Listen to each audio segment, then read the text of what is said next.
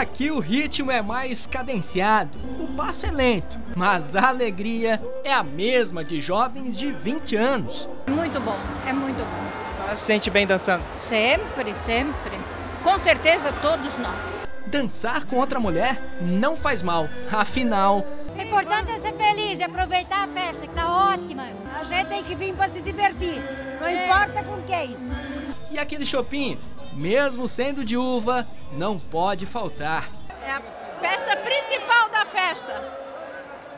Só outubro para ter um show maravilhoso. Muito menos o traje típico. Esse traje aí foi feito quando? Ah, já há muito tempo. Desde a época que começou já. E quando teve a apresentação de danças folclóricas, todo mundo ficou parado. Gostoso. E de dançar também. Não é sempre que eles têm esse contato com o público, né? Então esse contato para eles essa é uma gratificação muito grande deles poderem mostrar o trabalho que eles desenvolvem durante o ano. Há 10 anos, idosos de várias cidades do estado são recebidos pela Fundação Pro Família aqui de Blumenau sempre na última quinta-feira da Oktoberfest. Já virou uma tradição, né, Cristiano?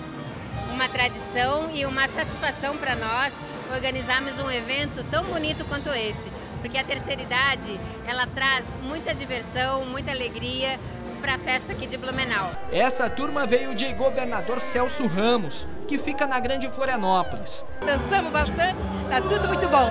Tá sendo um dia especial, um dia diferente para vocês, né? É, bem diferente. Tem pessoas que nunca vieram aqui, é a primeira vez, estão adorando. Segundo a organização do Oktoberfest, mais de 5 mil idosos passaram pela Vila Germânica nesta quinta-feira.